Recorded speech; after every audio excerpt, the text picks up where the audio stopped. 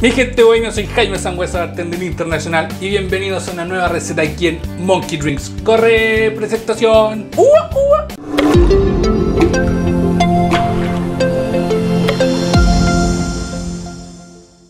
El cóctel de hoy es bastante sencillo, requiere muy pocos ingredientes y es uno de los más famosos en la coctelería mundial, el famoso Boulevardier. ¿Qué consiste en estos tres ingredientes?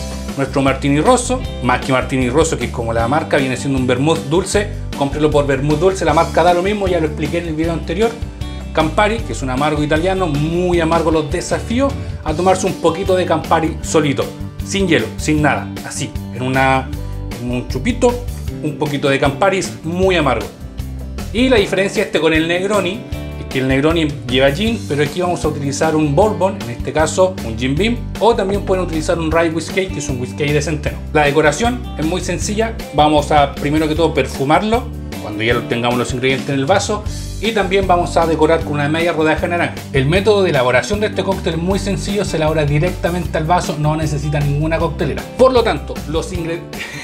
no, no son los ingredientes, los utensilios que vamos a necesitar es nuestro vaso de whisky, nuestra cucharilla de bar para ir revolviendo, nuestro jigger para servir las medidas perfectas y por supuesto aquí el hielo que tenemos para enfriar la cristalería y para servirnos nuestro cóctel con el hielo, la cantidad de hielo correspondiente, la que a ustedes les guste, pero siempre recordar que tiene que ser un cóctel frío, básicamente porque es puro alcohol lo que le vamos a agregar y mientras menor temperatura tenga, más rico es a nuestro paladar. Habiendo dicho eso, vamos a agregar el hielo a nuestra cristalería para enfriarla Ahora, si van a un bar a pedir este cóctel, el Boulevardier, lo más probable a un bar, un bar bueno, bueno, bueno, bueno, bueno, lo van a servir con un hielo grande que realizan ellos en los bares.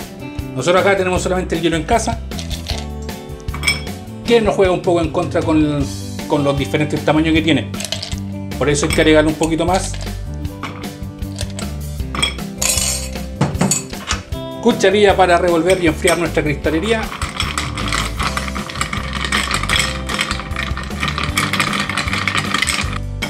Eso le va a bajar un poco la temperatura de la cristalería, pero lo que también va a hacer es ir generando agua. Entonces ahora sí nuestro color de gusano para descartar el agua. Veamos si es que generó el tiro. Sí, generó agüita, perfecto.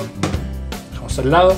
Muy sencillo de elaborar, lo vamos a elaborar con nuestro jigger que hace una onza y dos onzas. Vamos a ocupar hoy día solamente la parte de una onza porque vamos a agregar la misma cantidad de cada ingrediente directamente a nuestro vaso.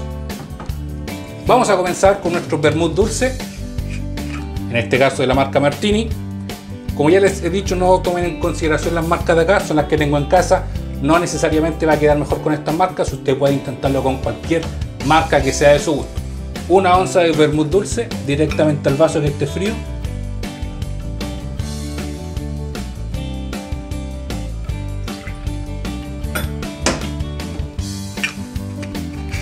Lo cerramos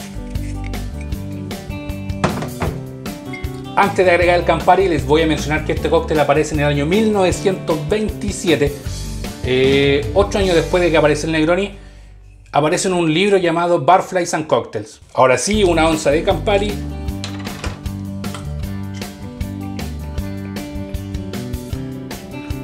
El Campari es muy amargo, por si acaso, muy muy amargo. Entonces hay personas que le agregan a veces media onza solamente para darle un toque de amargor pero yo siento que estos cócteles que son así requieren la misma proporción en todos sus ingredientes. La persona que creó este cóctel, que me, es imposible pronunciar su nombre, entonces lo voy a dejar acá anotado. Si ustedes lo pueden pronunciar, me lo dejan en los comentarios cómo se pronuncia, porque yo lo ensayé, lo ensayé, lo ensayé y me costó mucho. Pero esta persona, que está acá anotada, cuando creó este cóctel, él era editor de la revista Boulevardier.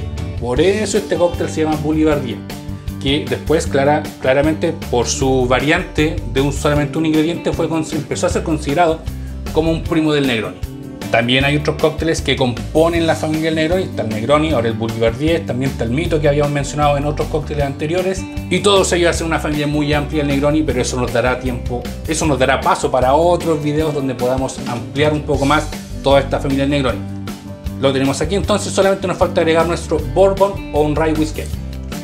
En este caso, Jim Beam, Borbo Jim Beam. También una onza.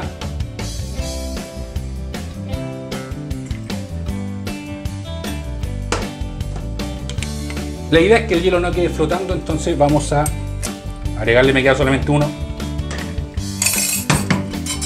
y vamos a revolver todo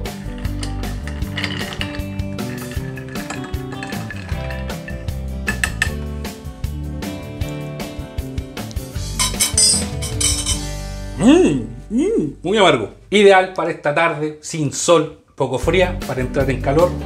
Lo vamos a perfumar, nuestra naranja. Vamos a dejar esto de lado. Vamos a subir la tabla. Vamos a cortar un poco solamente para perfumar porque le vamos a agregar la rodaja. Esta es la parte que siempre menciono que me gustaría que hicieran los videos, pero no se ve bien. Ah, perfecto. Con la naranja por acá. No, la vamos a descartar. Y vamos a pedir una media rodaja de naranja. Salió demasiado jugosa la naranja, pero ya la tenemos acá y la vamos a agregar a nuestro cóctel. Perfecto. Descartamos esto. Antes de probarlo, debo mencionarte que no olvides suscribirte. Te voy a dejar un silencio para que te suscribas.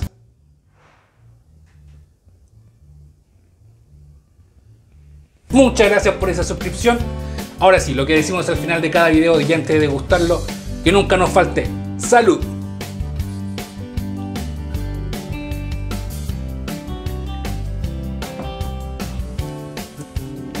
Wow. Ah. Mm. Era lo que necesitaba hoy día. Amargo, su toque amargo, eh, para entrar en calor en esta tarde fría. Perfecto. Si les gustó esta receta no olviden compartirla, disfrutarla en casa. Siempre me queda la duda de si ustedes realizan o han realizado alguna de estas recetas en su casa. Así que por favor, antes que termine el video, me lo dejan en los comentarios si he realizado esta receta o alguna otra que hayan realizado del video. Y también me pueden escribir aquellas que quieren que realicemos que aún me falta por realizar. Sin nada más que agregar y esperando verlos en un próximo video, me despido hasta otra receta de coctelería aquí en Monkey Drinks. ¡Nos vemos!